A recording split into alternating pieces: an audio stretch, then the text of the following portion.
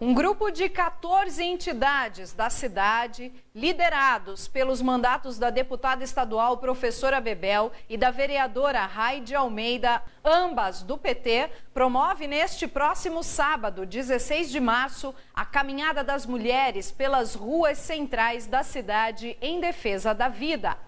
Denominado de Grito das Mulheres em Defesa da Vida, a manifestação terá concentração no Largo do Mercado Municipal às 9h30 e de lá caminhará pelas ruas centrais até chegar à Praça José Bonifácio, aonde será realizado ato público, quando será externado a situação da mulher e suas lutas por igualdade de oportunidades, por justiça social e contra a violência que tem matado mulheres. Participam dessa manifestação o mandato A Cidade é Sua, que tem como vereadora Silvia Morales, a POSP, o Sindicato das Empregadas Domésticas de Piracicaba, o Sindicato dos Municipais de Piracicaba, 8M Piracicaba, Coletivo Feminista Classista Ana Montenegro, o PCB, o PCdoB Mulher, o PSOL 50, Secretaria de Mulher do PT Piracicaba, o Partido dos Trabalhadores e o Partido Verde. De acordo com os organizadores, o objetivo da manifestação é possibilitar às mulheres a oportunidade de se manifestar publicamente na sociedade